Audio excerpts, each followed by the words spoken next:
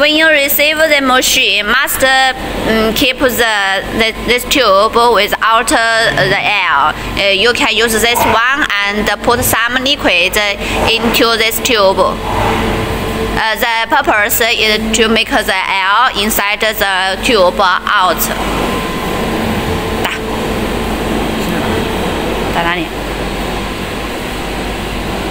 急就可以了，记它满了，记得满了就行了。哪里满？满过这里啊，满过这里，满过上面这个管。哦哦，打打到这个地方来就是吧？对对对，满过这边上面这个管就可以了。Uh, you, you can see when the uh, liquid inside this tube uh, arrive this, this, this level, that is okay. 然后就放到 And put the tube inside the tank on the ground. 放在里面，它就可以吸上去。